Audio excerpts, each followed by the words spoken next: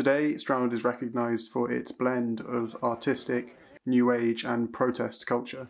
It is held by many as the home of Extinction Rebellion. It also bore witness to hundreds of local people turning out for the Black Lives Matter protest in June, um, despite Stroud being just below the western escarpment of the Cotswolds. Just look up your black British civil history. However, for most of its history, Stroud's cultural and industrial development has been tied to textiles. In the Middle Ages, high quality wool from locally reared Cotswold sheep was a key export, but with the dissolution of the monasteries in the 16th century and the redistribution of land and the burgeoning developments of the Industrial Revolution, the town saw cloth mills springing up along its streams and rivers. Clear water and ready availability of fuller's earth made the area's steep valleys well suited to high quality woolen products, but also poorly maintained roads.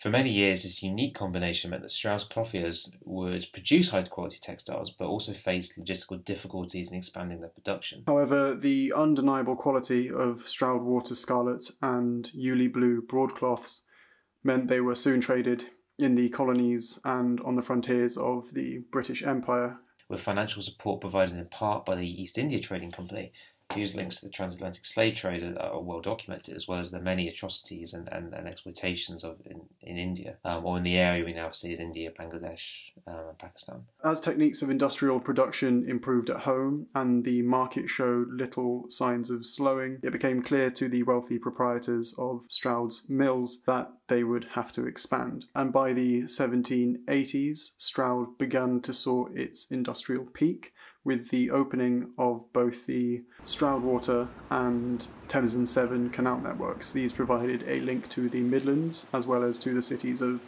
Bristol and London. For the next 50 years, and with the continued support of the East India Company, Stroud was able to compete with the growing industry of the north, and much of the period's developments are still visible to this day.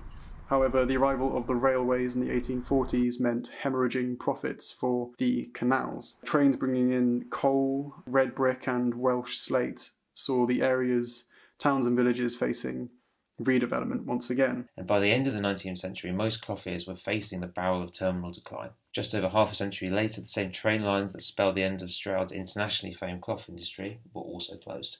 So we can still see these 17th century mills, the 18th century canals, and the Victorian factories and terraces around Stroud. In fact, we celebrate them. But the colonially rooted economic activity which allowed for these developments is obscured by a narrative of empire which we have been told for so long. Uh, this narrative has created an active ignorance that allows us to idolize and aestheticize a history that is actually so so often built upon violence. We don't see the connections between things like our canal systems to that violence.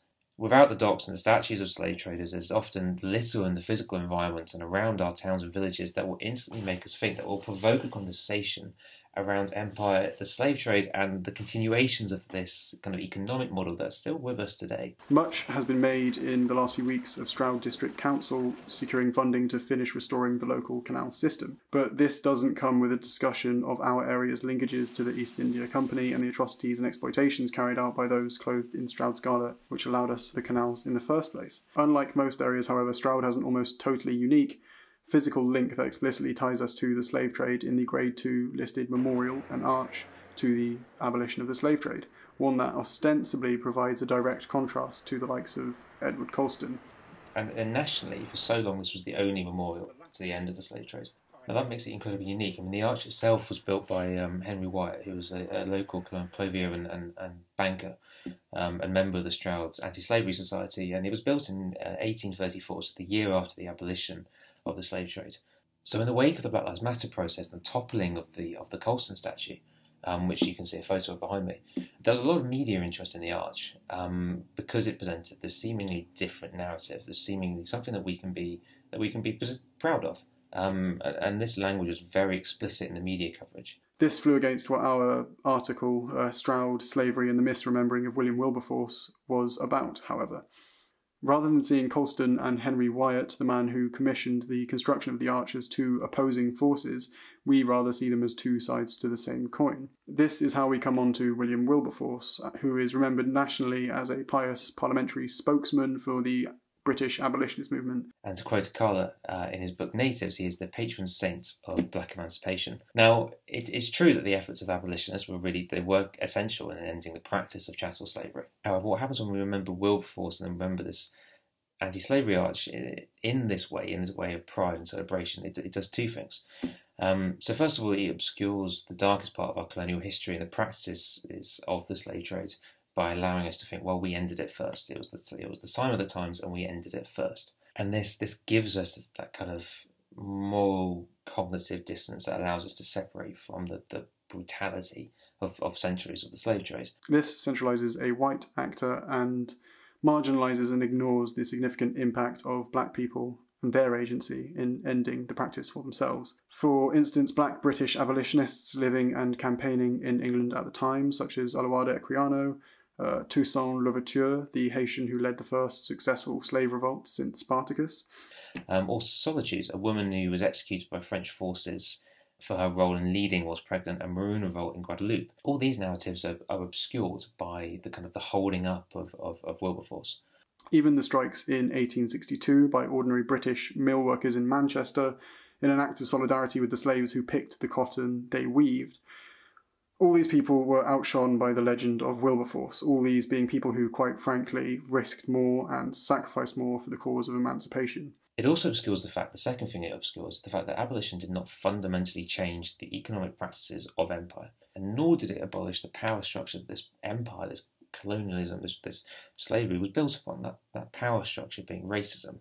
Because um, what racism is, it is a power structure. So, unless we cast a sharper, more critical eye over these narratives of social justice, then we will just continue to fail to truly understand and honestly critique our history and culture.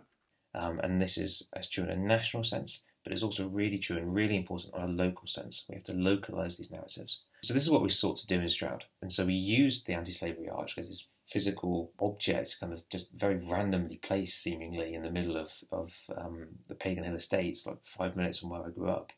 Um, and I walk past it every day on my way to school. Like there's a school named after Archway, and so we used this anti-slavery arch as a focal point for for these discussions because we wanted to see what the connections to our area and what connections to the slave trade um, really were.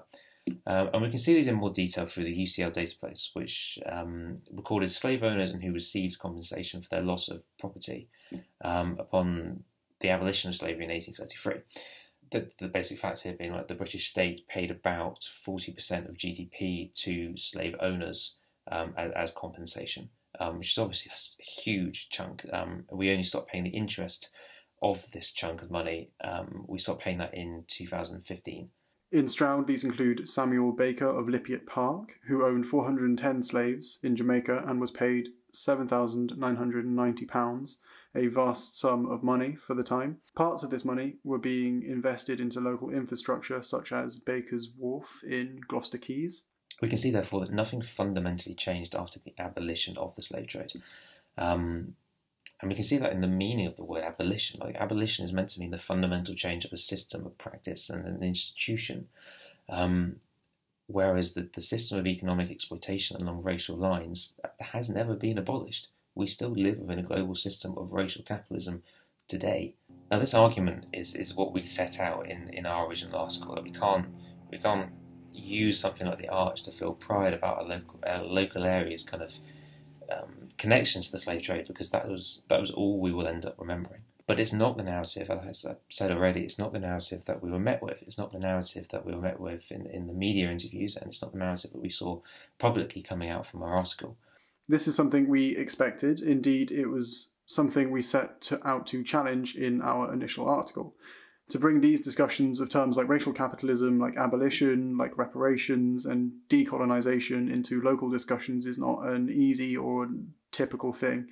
But it has started, and we've seen it in the in the extent of conversations that, that, that grew out of the Stroud Against Racism group, the media coverage that, that we ourselves helped generate of the Black Lives Matter process in Stroud, which had hundreds of people attending. But in using the physical linkages that we have to the slave trade, um, like the arch, to frame the discussions of our area's broader linkages to slavery, to empire, to colonial exploitation, to challenge the prevailing narratives, like the pride that we want to feel in, in the abolition of, of, of slavery. For the vast majority of people who were enslaved, um, their social and economic conditions barely changed at all. Um, whereas all the money that went, went went to the people who owned them. This is why considering the full histories of our local built environment is important. This was a period of history the entire country benefited from economically. Those linkages will be there. We can see them and understand them through analysing the towns and villages that so many of us live in. Using something like the anti slavery arch is such a powerful way to bring these discussions into local narratives. Um, and we can really see the discussion, the success of that in the seeds of, of change that I think we can see. We will see things every day which will have linkages to, to some form of, of, of racism, of colonialism, of empire. Um, and then through that, we can really start to see how, how fundamental it is. Like this isn't something we can ever we can never be a post-racial society when we have buildings and streets named after to slave owners, for example. We can certainly never be a post-racial society when people are okay with that. Um, yeah, so it's through seeing this and seeing these and, and understanding them and analysing them um, and understanding the towns and villages that so many of us live in. Um, that is where real, well, that is one avenue where real positive change can can come about.